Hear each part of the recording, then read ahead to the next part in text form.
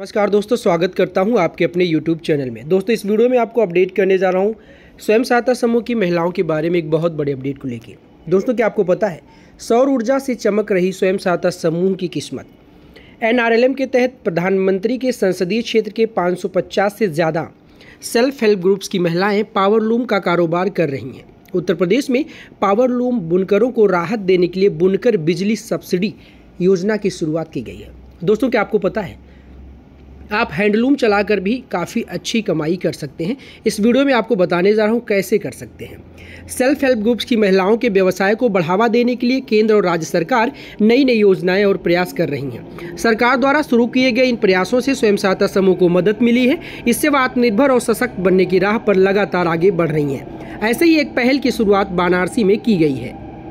तो दोस्तों, प्रधानमंत्री मोदी के संसदीय क्षेत्र बनारस में एक ऐसी योजना चलाई जा रही है जो स्वयं सहायता समूह की महिलाओं के आजीविका में चार चाँद लगा रही हैं। ऑन ग्रिड सोलर सिस्टम से चलेंगे पावर लूम दोस्तों, आपने सुना होगा तीस हज़ार सोलर पंप उत्तर प्रदेश की योगी सरकार किसान भाई और बहनों को सब्सिडी पर देने जा रही है। लेकिन ऑन ग्रिड सोलर सिस्टम से चलेंगे पावर लूम और इस योजना का सीधे तौर पर लाभ स्वयं सहायता समूह की महिलाओं को मिलेगा।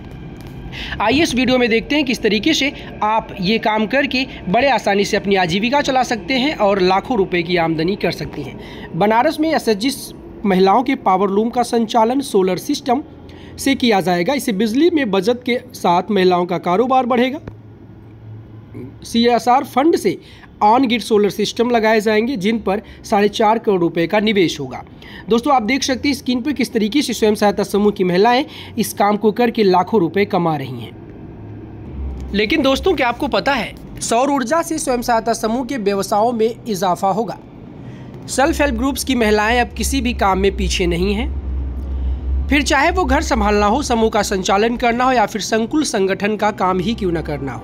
राष्ट्रीय आजीविका मिशन ग्रामीण, एनआरएलएम के तहत आरा जी लाइन ब्लॉक में पीएम के संसदीय गाँव जयापुर समेत सभी गाँवों के 550 से ज़्यादा सेल्फ हेल्प ग्रुप्स की महिलाएँ पावर लूम का कारोबार कर रही हैं। बेनीपुर गाँव में लगभग 90 परसेंट से ज़्यादा घरों में बिजली से चलने वाला करघा हथकरघा, पावर लूम का उपयोग कपड़ा और टेपेस्ट्री बुनने के लिए किया जाता है। स्वयं सहायता समूह की महिलाएँ एक साड़ी में लगभग तीन सौ रुपये तक की बचत कर लेती हैं। दोस्तों, क्या आपको पता है?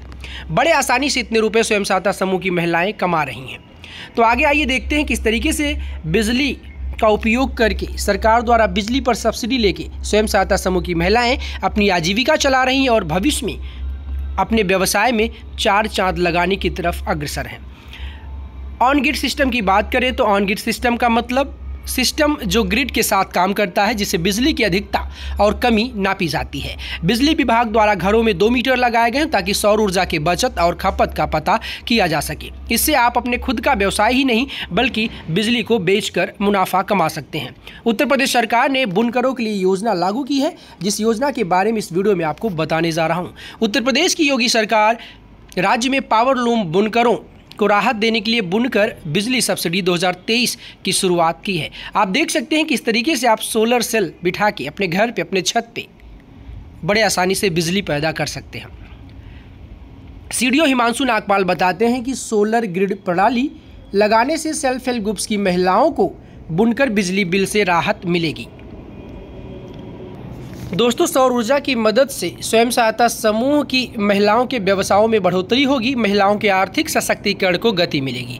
किस तरीके से आप देख सकते हैं, आप सोलर पैनल बिठाकर आप खुद के घर की बिजली पैदा कर सकते हैं, अपने पावर लूम को चला सकते हैं और सरकार द्वारा दिए गए साढ़े छः लाख रुपए तक का मदद ले सकते हैं बहुत ही आसान ब्याज दरों पे। यहाँ तक कि आपको कोई ब्याज नहीं देने पड़ेगा। इतने लंबे समय के लिए होता है कि आपको पैसे पते नहीं चलेंगे और इससे आप लाखों रुपए कमा सकते हैं। तो दोस्तों, अगर आप स्वयं सहायता समूह की महिला हैं या फिर स्वयं सहायता समूह बनाने की सोच रहे हैं तो जल्दी से बनाइए और सरकारी योजनाओं का भर भर के लाभ उठाइए। तो दोस्तों, निवेदन करता हूँ, अगर जानकारी अच्छी लगी, चैनल पर नए हैं तो वीडियो को लाइक करेंगे, चैनल को ज़रूर सब्सक्राइब करेंगे, ताकि ऐसी जानकारी आपको मिलती रहे। धन्यवाद दोस्तों।